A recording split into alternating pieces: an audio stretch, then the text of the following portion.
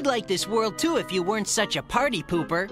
Enough talk. Let's go. Ah, relax, will ya? We have all afternoon to duke it out, buddy boy.